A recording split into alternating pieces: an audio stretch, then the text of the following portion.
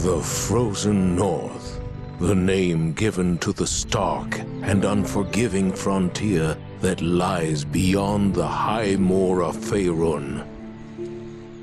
A bleak wilderness where barbarian clans and tribes of giants roam the land and fierce dragons rule the skies.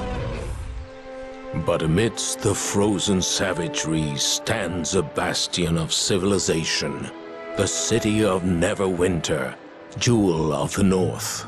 Behind the city's high walls, those both hardy and brave carve out an existence from this bleak land under the guidance and protection of the legendary hero, Lord Nasher Alagondar.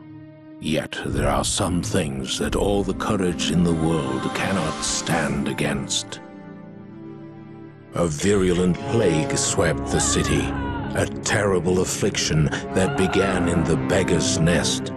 Soon, all of Neverwinter would feel the touch of the wailing death.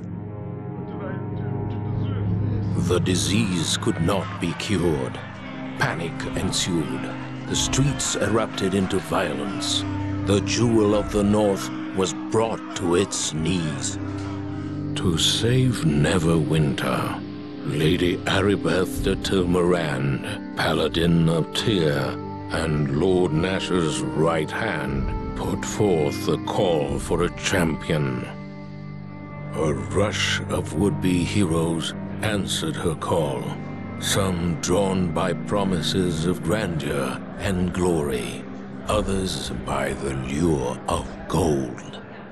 Those with the greatest potential were initiated into the academy to train and study under the greatest minds of Neverwinter, all in the hopes a champion might emerge to save the city from the wailing death and whatever sinister force might be behind it.